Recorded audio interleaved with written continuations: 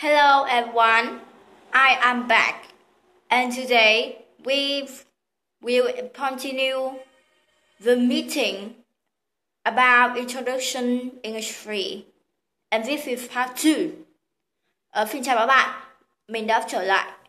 Và hôm nay chúng ta sẽ tiếp tục buổi gặp gỡ. Đó là về giao lưu liên quan đến việc giới thiệu chương trình tiếng Anh lớp 3 và đây là phần 2. Now we we start right now. Giờ chúng ta sẽ bắt đầu ngay nhé.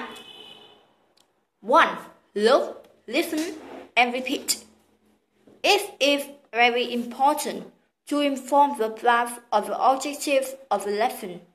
Before pupils only perform well if they understand what is expected. Say the unit title a few times and check pupils' comprehension of the title using simple and easy questions. Or even Vietnamese for the first few verses. Using Vietnamese makes you, you mean fear, but later on, increase your use of English and only give a short explanation in Vietnamese is necessary. How of the student books point to each of the picture in the story in turn and brightly discuss with the class what they think is happening in each picture. And the answers by asking, What can you see in the picture? Who is the speaker? Or, who are the speaker? Do you understand what he or she is saying? Or, do you understand what they are saying? Or, what does he or she want? Or, what do they want? Or, what is he or she doing? Or, what are they doing? Encourage pupils to get the meaning of the key vocabulary. Using the picture of that you can teach the key terms if they are abstract nouns or different notions for pupils to get from the visual forms. Wait me a minute.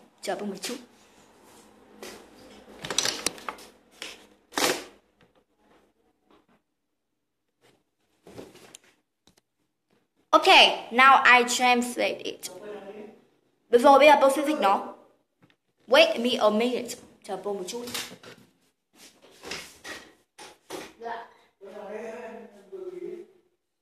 Thôi, để tí nữa. Chính cho xong. Okay, now listen carefully before I have to talk Vietnamese for you too. Bây giờ, hãy nghe thật kỹ bởi vì cô cũng sẽ nói tiếng Việt và cho bạn. Một nhìn nghe là lặp lại. Điều rất quan trọng là thông báo cho lớp học về mục tiêu mục tiêu của bài học. Bây giờ việc biết tại sao tôi lại phải cho phần này vào không? Ở đây chính là cái phần mà ờ, uh, các giáo viên thường hay thường hay tổ chức. Và để có thể vũ bạn hình dung để các bạn tránh tránh bị bỡ ngỡ cho nên là tôi sẽ sử dụng cái này. Được chưa? Rồi chúng ta sẽ Think Rồi chúng ta ở đây thì uh, hình như thiếu một phần thì phải. Một phần là they the recording for they the recording for two students here and rồi âm thanh cho phép của họ. They again, được chưa? They again to form students read it aloud and go on, on, on until you feel competent. Okay? Đây thì à, uh, tôi dịch thì nó hơi um, nó dịch thì thì tôi cũng cần phải luyện nhiều kỹ năng nói. I have to I have to um, improve my skill. My skill is speaking. Speaking is the most of four skill you need. And if even most important. Nó là một trong bốn cái kỹ năng và vì đó kỹ năng quan trọng nhất. Được chưa? Rồi chúng ta sẽ um, vì chúng ta phải thực hiện tốt nếu chúng ta hiểu những gì để mong đợi Nó tiêu bề đơn vị một vài lần mà kiểm tra mức độ hiểu bài của chúng ta. Sẽ sử dụng các câu hỏi vô cùng đơn giản và dễ dàng, hay thậm chí là tiếng Việt trong một vài lớp đầu tiên. Sử dụng hoặc sử dụng Việt Nam ý là tiếng Việt, làm cho những gì bạn muốn nói rõ ràng. Nhưng sau này, chúng ta nên tăng cường sử dụng tiếng Anh và chỉ đưa ra một vài giải thích ngắn của tiếng Anh Việt nếu cần thiết. Với cuốn sách của học sinh là người chỉ vào từng bức tranh trong câu chuyện và thảo luận ngắn gọn với cả lớp về những gì chúng nghĩ đang xảy ra trong bức tranh. Gợi ý bác vô trả lời bác phải hỏi, bạn có thể thấy gì trong bức tranh đó? Ai là người nói vậy? Hoặc ai là người nói? Vì đây? What's this?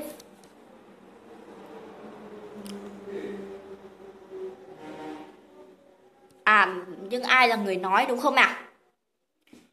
Bạn có hiểu anh ấy hoặc cô ấy đang nói gì không? Hoặc bạn có hiểu chúng ta nói gì không? Cô ấy, anh ấy hoặc cô ấy muốn gì? Hoặc là họ muốn gì? Anh ấy, cô ấy đang làm gì? Hoặc họ đang làm gì? Vâng vâng. Khuyến khích chúng ta đoán nghĩa của các vừa vựng chính, sử dụng hình ảnh hoặc các thể ghi chú. Chúng ta phải dạy các từ ngữ chính nếu chúng là các danh từ trừu tượng hoặc khái niệm khó cho chúng ta đoán từ các gợi ý trực qua. Chơi bảng ghi âm cho học sinh nghe và theo dõi âm hoặc cho phim của họ vừa ấy tôi cũng đang đọc bằng tiếng Anh rồi. Tôi vừa đọc nhưng mà nó sẽ không chính xác chuẩn lắm. Chơi lại lần nữa để chúng ta thực hiện hợp sướng và lặp lại cá nhân cho đến khi chúng ta thấy tự tin. Next, we are going to part 2, point and say. Tiếp theo chúng ta sẽ tìm hiểu phần 2. Đó là chỉ và nói. Now, I will into a big. Bây giờ tôi sẽ biến nó thành bao dạng. If from the path of the objective of reflection, pupils are going to learn the pronunciation of new words and sentences. Give a few moments for pupils to look at the picture and read the text in silence. Drawing the, words and say it slowly and clearly.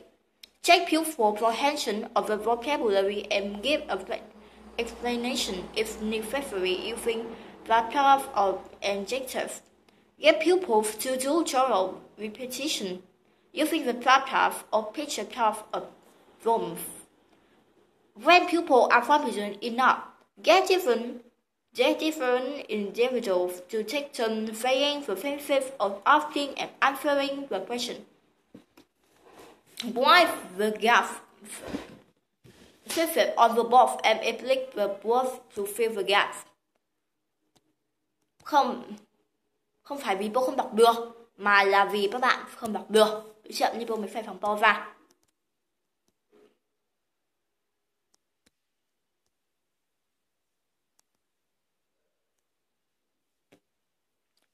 If the task is revealing a question and answer, read the answer first. When you have finished, finish Revealing the answer, read the question in the same procedure. Finally, combine the question and answer together to show and individual during respectively. Get pupils to interact in pairs. Have them point to each picture, asking and answering respectively. Your round often bring help with pronunciation if necessary.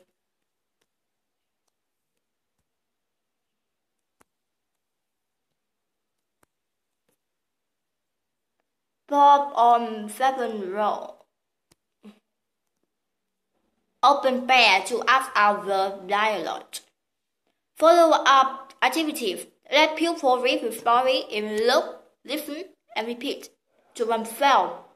Ask different individuals to come to the front of the class to ask out the story either with uh, or without their books depending on how competent they feel.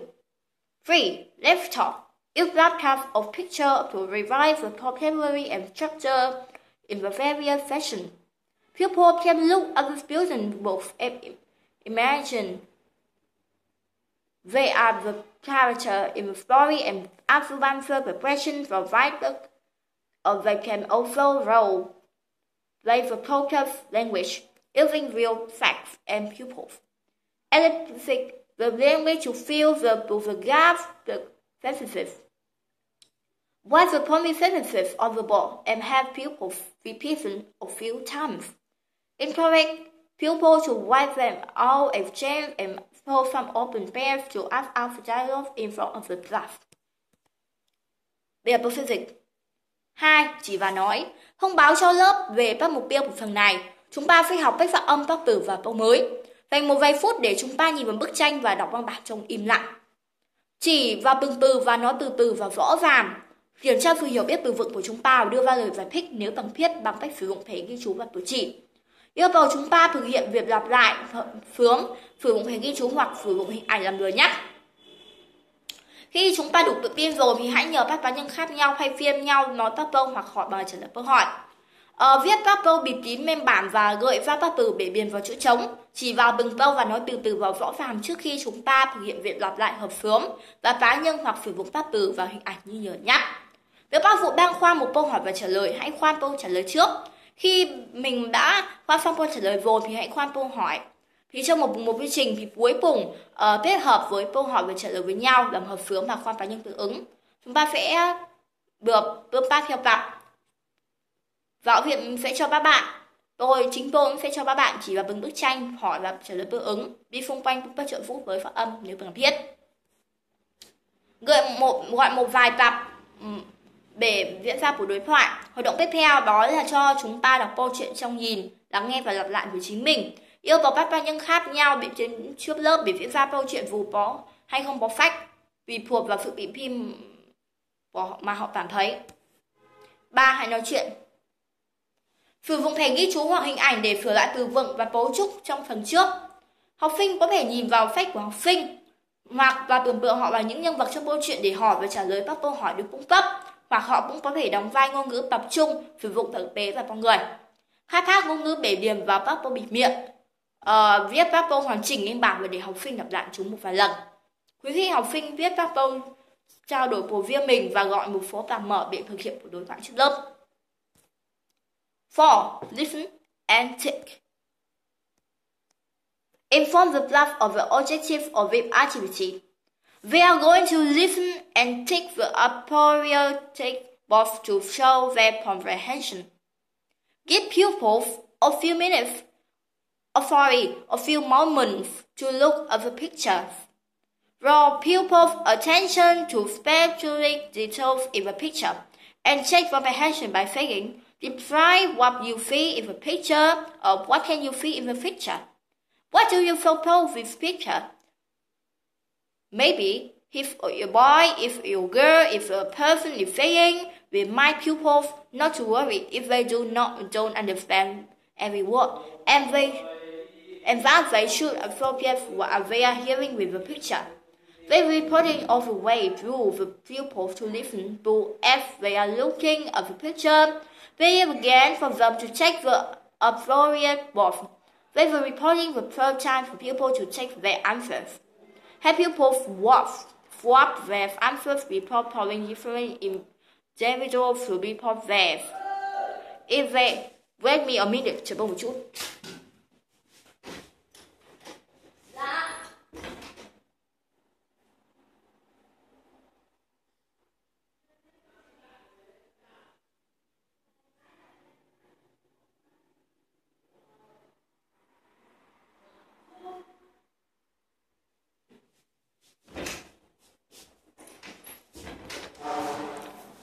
Now I'm back and we have here for 13 minutes. Film 13 minutes ago.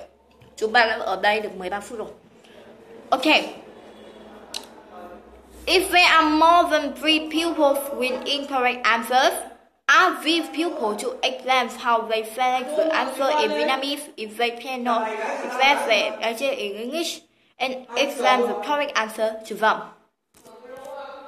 Chúng ta sẽ dịch nhé. Thông báo cho lớp về mục tiêu của hoạt động này. Chúng ta sẽ lắng nghe và đánh dấu vào ô thích hợp để thể hiện sự hiểu biết của chúng ta. Giáo viên sẽ cho chúng ta một vài khoảnh một vài thời gian để nhìn vào các bức tranh. Uh, thu hút sự chú ý của chúng ta và cách chi tiết cụ thể trong bức tranh và kiểm tra mức độ hiểu bằng cách nói. Bạn hãy mô tả những gì bạn thấy trong bức tranh hoặc là uh, bạn có thể thấy gì trong bức ảnh. Bạn cho rằng người nói này có thể là người có thể là bạn trai, có thể bạn gái hoặc là người khác đang nói gì nhắc nhở chúng ta đừng lo lắng. Nếu chúng ta không hiểu từng từ và rằng chúng ta nên gắn kết những gì chúng, nghe, chúng ta nghe được với các bức tranh. Và phát đoạn ghi âm cho đến khi chúng ta nhìn vào các bức tranh. Và giáo viên sẽ chơi lại để họ kiểm tra hộp thích hợp. Và giáo viên cũng có thể chơi game lần thứ ba để chúng ta kiểm tra bộ đáp án của chúng, của chúng ta đấy đúng chưa và chúng ta phải trao đổi câu trả lời của họ trước khi gọi các cá nhân để báo kết quả của họ.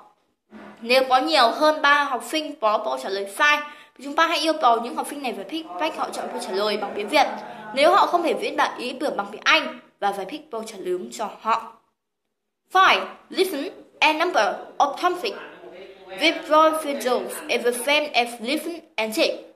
However, here the pupil's task is either numbering the picture in the order in which they have heard them or filling the gap. Sentences. 6. Read and match a and author. Inform the class of the objectives of reflection.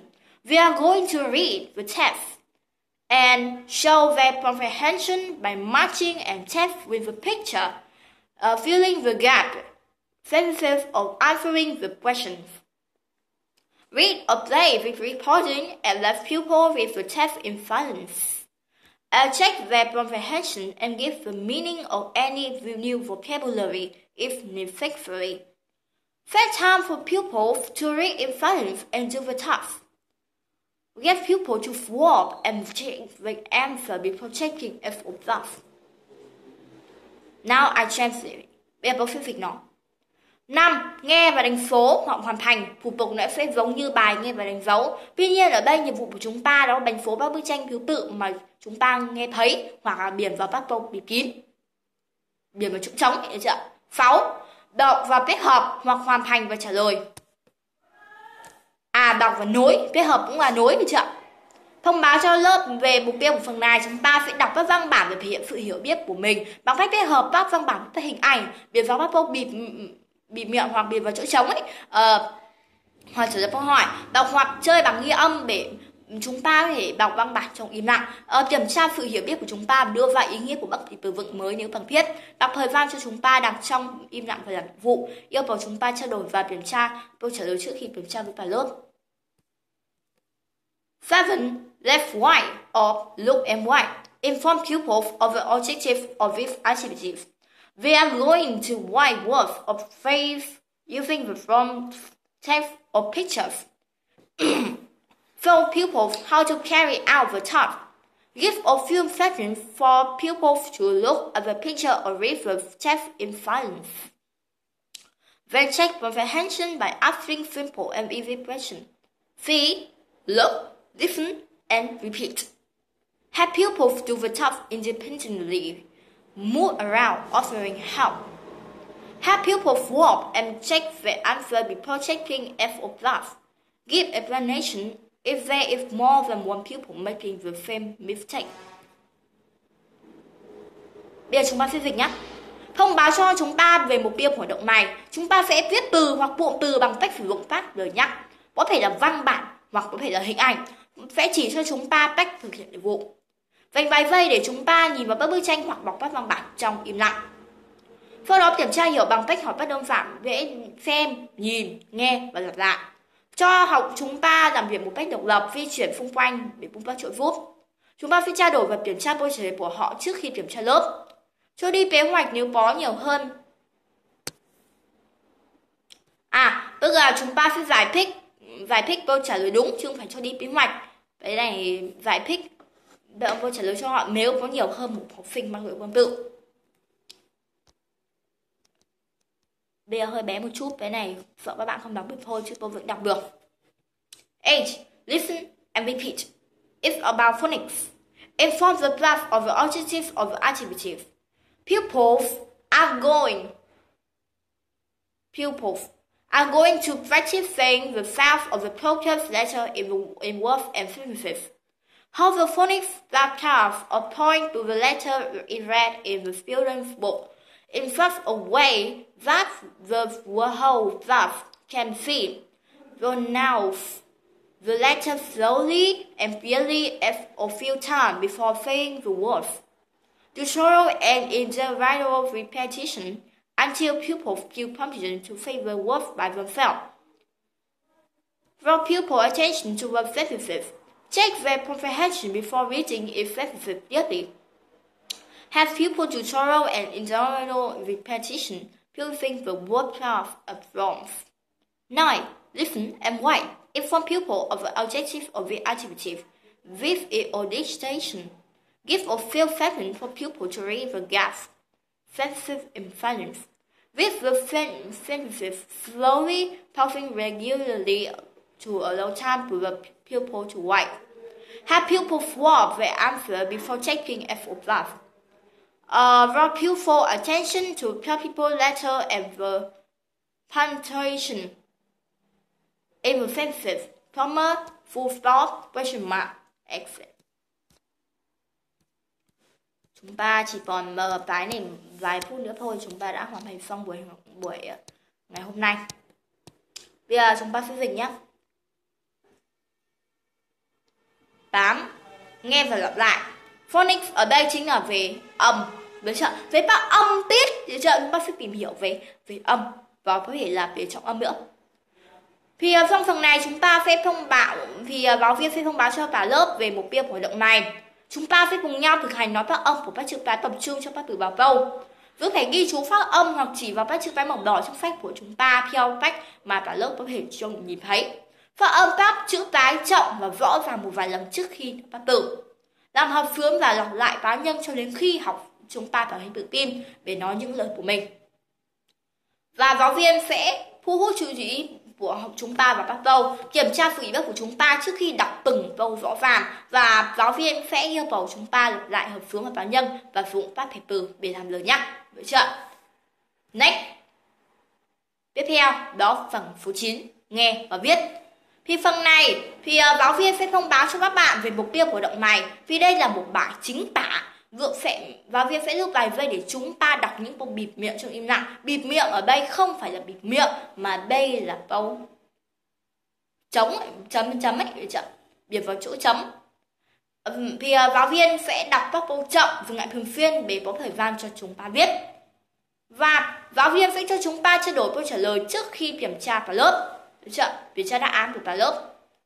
Và giáo viên sẽ hút chú ý của chúng ta với chữ im hoa và dấu bâu trong một dấu câu ở à, dấu bâu như dấu phẩy, dấu chấm hết, dấu chấm hỏi, và vân rất nhiều. Last, next one. Tiếp, bài tiếp theo. Ten, Left turn of thing. Jump and sounds are engaging and help people. Cái này chắc các bạn không đọc được mình tôi sẽ phẳng to ra.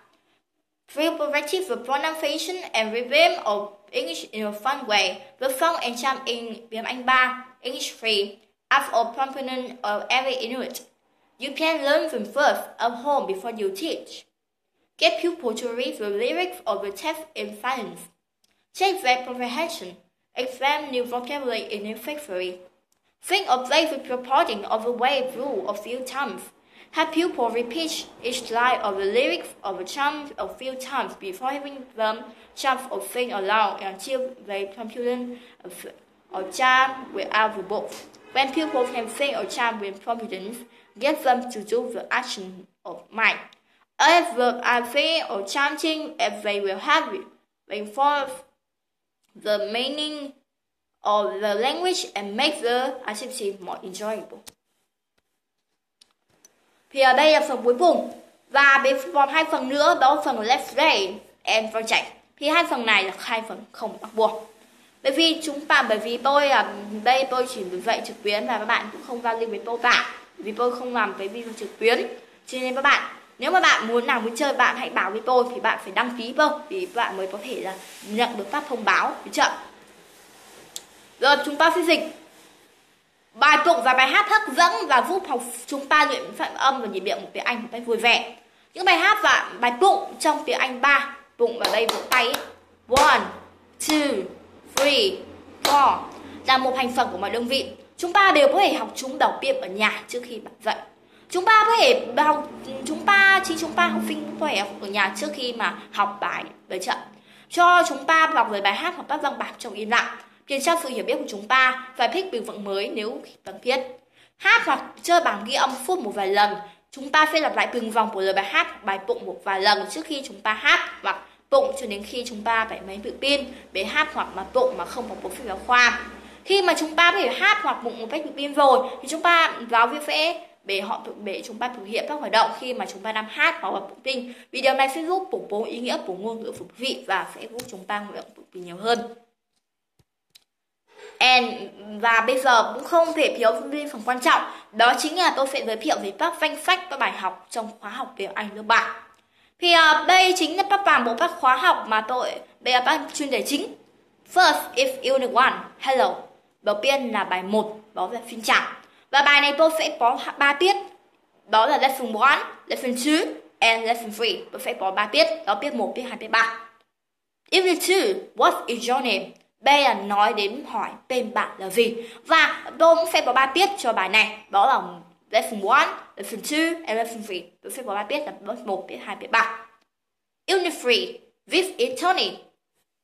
Bài 3 đây là Tony. Và đây chính là bài giới thiệu một bạn đó là đó một người nào đó đối với trong người khác. Ví dụ I am Trịnh Ngọc Quang. Tôi là Trịnh Ngọc Quang đây. This is Quang đây là Quang được chưa? Đây là việc giới thiệu được chưa rồi giới thiệu người này cho người khác và tôi sẽ có ba biết cho bài này đó là phần 1, lesson 2 and lesson 3 Uniform. How old are you? Đây thì đây chính là câu hỏi mà ở sẽ hỏi buổi của chúng ta. Và ngoài ra còn có một dạng câu khác. Nếu mà chúng ta học sách giáo khoa cũ tiếng Anh lớp 6 thì đó chính là what what is your age? Bạn bao nhiêu tuổi? Đấy cũng là một dạng câu hỏi. Nhưng câu hỏi đó nó sẽ khó hiểu hơn nên chúng ta sẽ sử dụng câu hỏi how old are you? Được chưa? Và vậy đây chính là hỏi bạn bao nhiêu tuổi. Và bài tôi sẽ có 3 tiết cho nội dung này. Đó lesson 1, lesson 2 and lesson 3. Còn Bích đâu? Đi chơi rồi. Chơi đâu? Chơi nhà bong bóng rồi. Hơ! Okay. Unit 5. Are they your friends? Bài này có nghĩa là gì? À cái bài số 5 này này, Nó có nghĩa là họ có phải là bạn của bạn không? Thì nếu mà người ta hỏi, Bây có phải Ngoài ra bây đối là đối số nhiều thôi, Và ngoài ra còn có phải số ít If he's your friend, Bộ ấy có phải bạn của bạn không? À nếu mà chúng ta, Nếu mà có thì chúng ta sẽ trả lời có, Còn nếu không thì trả lời không, đúng không? Được chưa? Đây nó sẽ trả lời, hỏi Nếu mà chúng ta thắc mắc bây có phải bạn của mình Thì chúng ta sẽ trả lời có hoặc không Được chưa? Và sau năm bài Ừ, thì sẽ có một bài ôn tập. Ôn tập kiến thức, chúng ta sẽ không ôn tập lại lý thuyết, mà chúng ta sẽ ôn tập lại qua các qua các bài tập. Như bài tập về kỹ năng nghe, kỹ năng nói, kỹ năng đọc và kỹ năng viết. Chưa Review 1 from Unit 1 to Unit 5 và tôi chỉ có một tiết trong tiết tiết này thôi.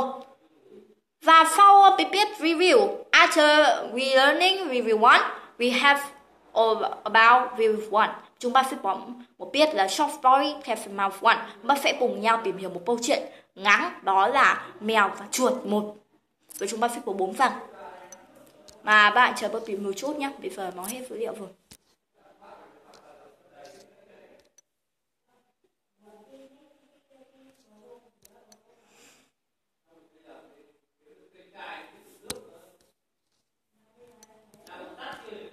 Này tôi giải thích uh, chắc là nó cũng không uh, mất thời gian mấy đâu đúng không ạ?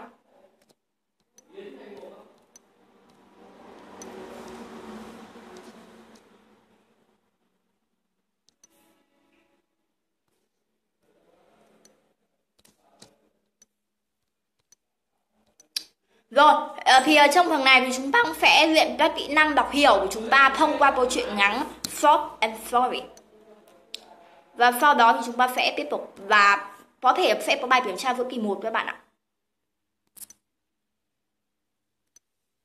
nhưng mà bọn mình học không có rồi chúng ta tiếp tục nhé Rồi, Unit 6, stand up là đứng lên. Chúng ta cũng sẽ có ba tiết là các hành động của các giáo viên khi chỉ bạn. Có thể là fit down, stand up, vân vân. Unit 7, that's my school là đấy là trường của tôi. Unit 8, this is my pen. Mỗi bài học thì đều có 3 tiết. Trừ tiết review 2 và soft story chỉ có một tiết thôi. Unit 8, this is my pen. Đây là bút của tôi. Unit 9, what color is it? Nó màu gì vậy? Unit 9, what do you do in the break time? Bạn làm gì vào thời gian mình rỗi? Review 2, à thời gian ra chơi. Review 2, short story, PF mouth 2. Và chúng ta sẽ ôn tập học gì và kiểm tra. Học gì? Unit 11, This is my family. Đây là gia đình tôi. Unit 12, This is my house. Đây là ngôi nhà của tôi. Unit 13, Where's my book? Quyển sách của tôi ở đâu? Unit 14, Are there any photos in the world, Có bức tranh của nào ở trên tường không? Unit 15, Do you have any toys? Bạn có đồ chơi nào đồ chơi nào không? Rồi chúng ta sẽ có bài vv free. For vv free, chúng ta sẽ có bài Shop and Story, Cats and Mouse Mèo và chuột ba. Và bài unification Do you have any pets? Bạn có pet thú nuôi nào không? Unit 7, What toy do you like? Bạn thích bạn thích đồ chơi nào? Unit 18, What are you doing? Bạn đang làm gì vậy? Unit 19, uh, where are in the park. Họ đang ở công viên. Hỏi chúng bạn. Unit 12, where is the park? Papa ở đâu vậy? From number February before và short story plan mà for. Và sau đó chúng ta sẽ cùng nhau vào bài P gì? Hai. Vậy là bài học vậy là buổi hôm nay đến đây rồi. Xin chào và hẹn gặp lại. Và chúng ta sẽ chuẩn bị cho tôi bài học đầu tiên. Unit 1, hello, lesson 1 nhé. Xin chào và hẹn gặp lại.